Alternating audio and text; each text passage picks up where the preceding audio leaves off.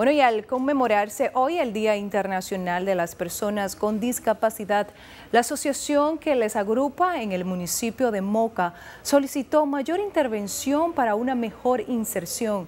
Tenemos en directo al periodista Miguel Ángel Arroyo con una marcha por la inclusión de este Moca. Miguel, buenas tardes.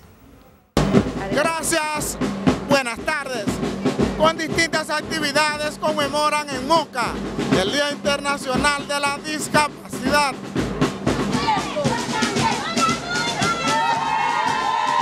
Para José Elías Barra, representante de la Asociación de Discapacidad en Moca, falta voluntad política para aplicar la ley 513. En el artículo 20 establece que un 5% de la, de la empleomanía del Estado debe estar ocupada por personas con discapacidad, pero por sobre todo con capacidad.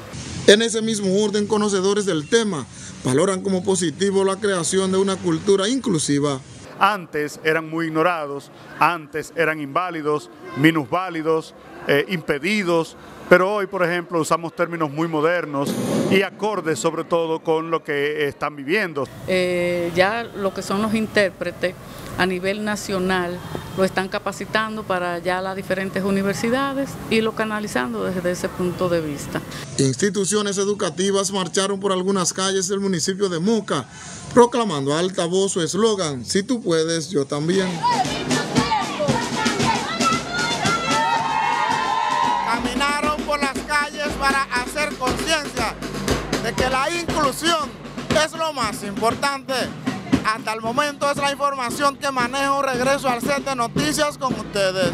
En Moca, provincia de Espaillat, Miguel Ángel Arroyo. Muchísimas gracias, Miguel Ángel.